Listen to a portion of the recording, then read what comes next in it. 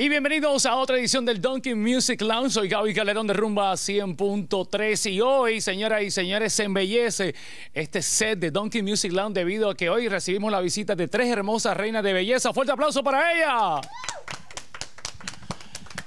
Damas y caballeros, directamente de Puerto Rico, la isla del encanto, tenemos dos hermosas eh, reinas. Ella es Miss Universal Petit, Mrs. Universal Petit eh, ¿correcto?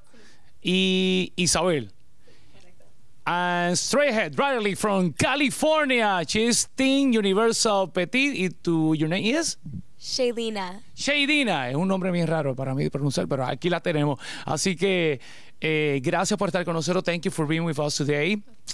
El resumen de estas chicas acá presentes es que el pasado junio de este año 2023 fueron parte de un reinado que se llama Universal Petit directamente desde el Carnival Cruise que salió directamente desde Tampa hacia la isla de Cozumel y durante esos días eh, tuvieron muchos días de entretenimiento, de fotos y por supuesto de mucha competencia entre otras candidatas de otros países, tanto de aquí de Estados Unidos y de Latinoamérica y también del continente europeo. So, ¿Cómo se siente estar aquí con nosotros esta tarde? Se siente increíble. Muchísimas gracias por habernos invitado. Parte de, ¿verdad?, haber sido otorgado este gran honor es poder hacer cosas así con mis hermanas y poder comenzar este tour con ustedes. De verdad que se los agradezco y estoy bien contenta. Uh, Shailina, how was your experience of being crowned and since the beginning of the competition? It was absolutely amazing. I was working so hard for a whole year, and it's amazing to see all the other competitors and all the other girls working so hard and all their hard work coming to life, and all the beautiful girls really just doing their best to be their really best selves. The same question for you. Well, I'm very excited because I was the first Mrs. Universal Petite. So now I know that I have to set that bar uh, and set the expectations for the future queen. So I am extremely excited and thank you for the opportunity. Eh, chicas, les pregunto, eh, ¿cuál es la misión luego de ser coronada, meta personal como reina de cada una de ustedes. So the question is, what is your goal after being crowned, your personal goal uh, after you win this competition? Bueno, Gaby, yo trabajo como médico y parte de, de las cosas que yo hago es entrenar a otros médicos futuros. So, one of my goals is to um, take the group of trained medical students that I have worked with to a medical mission trip and work with my um, sisters to do more outreach projects in that area. Sarita? My goal is to spread my platform autism awareness across the globe. I've already uh, reached out to different places in the US and being able to reach out all over the globe with my book and hopefully more YouTube videos with other doctors.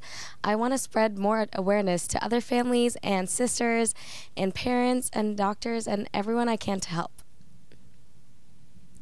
So for me, I'm a mom, wife, and an entrepreneur. So for me, my biggest uh, uh, the thing that I'm trying to portray is for everybody to feel like they can reflect themselves on me, to see that it is possible for you to be able to do anything that you want to achieve in life. And as part of my career as well, to teach other women how to be entrepreneurs as well. Eh, como pueden ver, aquí tenemos diferentes títulos y se preguntarán, pero tenemos una eh, Miss que es MS, MS, a una Mrs.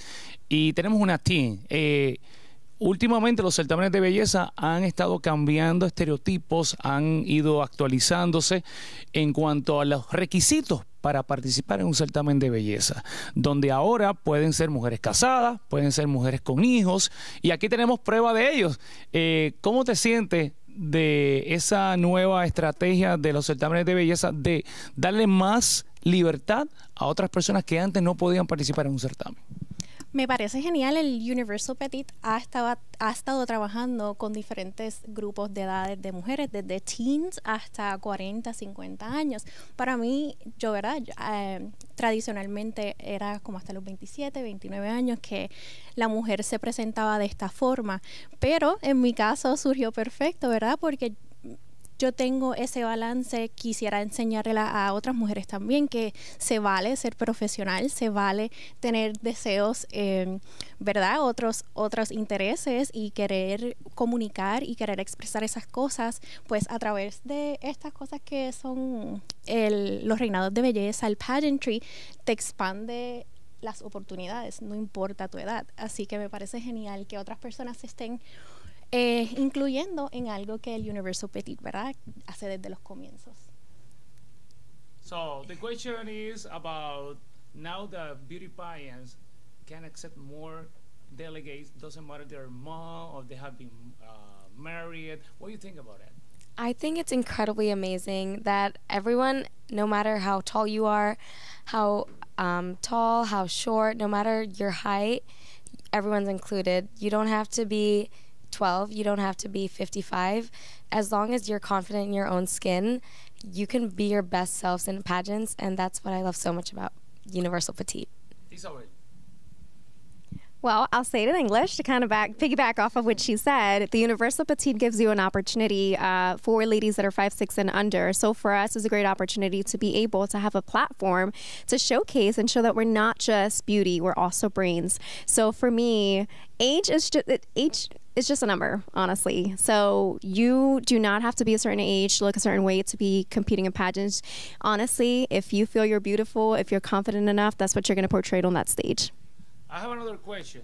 Uh, for you, whatever you want to answer. Um, if you want to suggest some something for a, a girl that want to be a queen, and this girl, this woman say, no, I don't, I don't work. For, I, I mean, I don't being designed for this because they're our confidence or their esteem. Maybe you think that that she need uh, um, any advice, what you what what would be your advice for to her, for this girl that think that she cannot do this beauty pageant? Anything is possible and you can do what you set your mind to. Let's put, for example, when we're born, like, you know, we have to learn how to crawl, we have to learn how to walk. So that is a perfect example for you that are watching me right now that you can do anything in life. You don't you're not born knowing everything. You learn as you live, and the experiences in life is what what's going to mold you to be the person that you know you're you're set to be. Any special talent that you have that you want to share with us? Anyone sings? Anyone uh, do acting? I act. Um, I do it in my free time, um, after school, before school, whenever I have time. I submit for um, tapes and um, different auditions.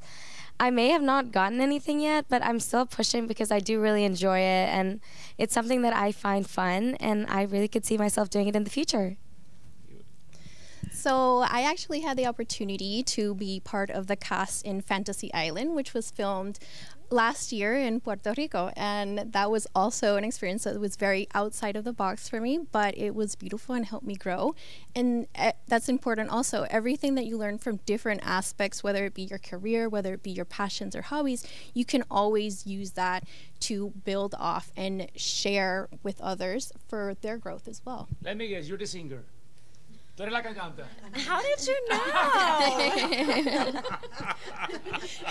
Although, you know, I've only sang in the showers. it's not it's not official. Ladies and gentlemen, damas y caballeros, la reina de Miss Universe, Universal Petite y ellas están aquí con nosotros. Están pasándola bien en la ciudad de Orlando. Me dicen que la van, van para SeaWorld, van para los parques, van a, en esta época de terror, van a experimentar lo que es eh, ser asustada acá. dicen que es una buena terapia, una buena terapia para el estrés. ¿Es verdad, doctora? ¿Verdad que sí? Bueno, sí, te saca de, de tu ámbito normal y te, te, es un restart, let's say. Ok. Si estás dormida, te despiertas. de eso sí estoy seguro. Eh, have people here from our radio station, iHeartRadio. We have Ali. Ali, how are you doing? Great, Gaby. Excited to be here. Uh, Ali, what question do you have for these beautiful queens? So, how long did it take for you to train, and what was your journey getting into? Did you start as children? Was it later in life? I, I'd be curious to know that. I love that question because for me, I actually didn't give myself the opportunity to participate in anything like this until I finished my career. So I was kind of very focused in that. And I was lucky enough that there was an opportunity that because I am five three that wasn't really something that I thought was possible. But with this universal petite system, I was given the opportunity to start building that. That was the first thing to get the seed, to see if I could do it. After that, I start working i think it was two years in, in training i had to um, do communication training because i am pretty shy. I was hiding under the books oh, all this time. So i wanted to pull out this this part of me. So the walking the training uh, it took two years it, even to build the confidence within myself to be able to do that yeah, um, watching pageants my whole life, I always like looked up to pageants as something I could never do. They were just something I watched with stars in my eyes, maybe wishing one day I would be on a stage like that. Luckily for me, um, I had the push of my mom, who pushed me recently to get out of my box and just do it because why not? I mean, what's the worst that could happen? And there's no worst that could happen. You can only move forward from anything. Absolutely, I love that. And I've been competing in pageants for quite a couple years now. And I feel like my first experience with pageantry was uh, kind of like a spur of the moment. And then I realized once I stepped on that stage that it helped me step outside of the box and it gave me the confidence that I needed uh, to be able to be the person that I am today. So, pageantry, like I said, is more than beauty. It definitely is brains as well, just because it teaches you. And with every experience, like you learn, you, you live and you learn. Thank you very much, yours. Any other question, Ali? Where did the gowns come from? Oh! Who knows the answer? So I've worked with designers in Puerto Rico. One of my favorite designers over there is Wilbert Perez, and he has worked with me with various gowns. Um, we have a lot of young, talented designers in Puerto Rico, so that's at least where I was able to get my gowns from. I have my very favorite designer, Louis. He's from the Philippines. Um, I had him make my dresses from my state dress all the way up to my universal dress. And I love his dresses because he makes me feel pretty. He makes me feel confident on that stage. And I mean, they're re- really gorgeous. Same here. I feel like all of my designs have been, or gowns, sorry, have been custom made uh, just because being able to communicate with those designers and being able to share your body type with them and what you're comfortable with and what you're not comfortable with, uh, for me, it was the best way to go custom made. But you can get them anywhere. Universal Petit Payen, eh, una experiencia inolvidable para aquella chica que pues quiera experimentarlo, eh, porque no tan solo te da la oportunidad de representar a tu país, eh, te da la dicha también de competir y disfrutar y aprender otras culturas mientras participa. So, yo quisiera saber qué, eh, ustedes cómo hicieron para participar, qué es lo que tienen que hacer y por supuesto que compartan la información donde las pueden conseguir en Instagram y todas esas los, las redes sociales. Bueno, para participar las inscripciones están abiertas para el próximo año. Ya pueden entrar a la página de universalpetit.com o a las redes sociales de Universal Petit y pueden ver todas las cosas que hemos hecho tan maravillosas y de ahí se pueden inspirar a ustedes para, para comenzar. Tan pronto ustedes le escriban un email o un direct message, nuestra editora les va a estar contestando y les va a estar aclarando cualquier duda. And the question is, um, uh, how do you um, subscribe to participate in the buy-in and and all your social media information, Instagram, TikTok? Yeah, I found Universal Petite and Petite USA from just social media, from Facebook. It was just one big leap that I took. And ever since, I've just been posting nonstop. Um, it's just from like what I eat in the morning to how I get dressed to my new outfit or you know just walking on the street. I think posting is just a great way to show people who you are and your personality. Absolutely, I agree. I agree. Social media is a big platform for us to be able to share and um, engage with the public and with those contestants as well. You can re- always reach out to us. We'll make sure that we answer any questions that you have. Reach out to our director as well, and you can also follow all of us on our journey. Uh, it's MS Teen Mrs. and then we have a Ms. Universal Petite Queen page on uh, fa- or Instagram. I'm sorry. So if you want to see any content, you can reach us reach out to us on there. Do you think, girls, that Ali should participate next year? She's a really petite girl. Damas y caballeros, gracias por estar con nosotros, gracias por seguirnos eh, y por supuesto, si tienes interés de que tu hija o tú misma que estás viendo el video eh, quieras participar, no te preocupes que vas a tener una experiencia inolvidable con Universal Petit y el animador oficial, por supuesto, este que es Gaby Calderón. Desde el iHeartRadio Dunkin' Music Lounge, rumba 100.3, que pasen una excelente tarde y por supuesto será hasta la próxima. And see, I think, I personally wanna know the next winners. So I'm going to the cruise next year. Thank you so much for having us. Thank you.